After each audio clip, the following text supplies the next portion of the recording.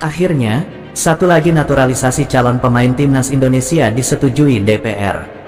Namun sebelum lanjut ke pembahasan, mohon kiranya subscribe, like dan share channel ini, agar admin lebih semangat untuk kembangkan channel ini dan agar kalian tidak ketinggalan informasi menarik seputar timnas Indonesia setiap hari. Calon pemain naturalisasi timnas Indonesia, Sain Patinama, menghadap Komisi X DPR RI di Gedung Nusantara I, Senayan, Jakarta Pusat, Selasa, tanggal 8 November tahun 2022.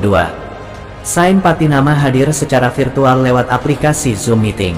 Agenda rapat kerja Raker Komisi X DPR RI dengan Menteri Pemuda dan Olahraga Republik Indonesia ini membahas pemberian kewarganegaraan Republik Indonesia kepada Sain Patinama. Dalam raker ini, Ketua Umum PSSI, Muhammad Iriawan, menyampaikan bahwa keinginan naturalisasi berasal dari permintaan pelatih Sintayong, bukan federasi. Kami laporkan keinginan naturalisasi bukan permintaan federasi. Ini keinginan Sintayong kami hanya mengakomodir, ucap Muhammad Iriawan.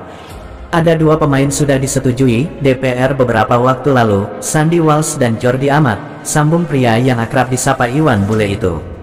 Sementara itu, pimpinan Raker, Hetiva Syaifudian menetapkan bahwa Komisi X DPR menyetujui pemberian kewarganegaraan Republik Indonesia kepada Sain Patinama. Komisi X DPR RI menyetujui rekomendasi kewarganegaraan RI atas nama Sain, kata ucap Hetiva Syaifudian. Dengan catatan bahwa penetapan kewarganegaraan RI ditetapkan oleh instansi yang berwenang berdasarkan ketentuan peraturan perundang-undangan, sambung politisi dari fraksi Golkar itu. Selanjutnya, Naturalisasi dari Sain Patinama akan dibahas di Komisi II DPR, Rabu, tanggal 9 November tahun 2022. Dengan agenda pembahasan permohonan pertimbangan kewarganegaraan RI atas nama Sain Patinama. Sebelumnya, Sandy Walsh dan Jordi Amat sudah lebih dulu menghadap DPR Komisi 3 dan X.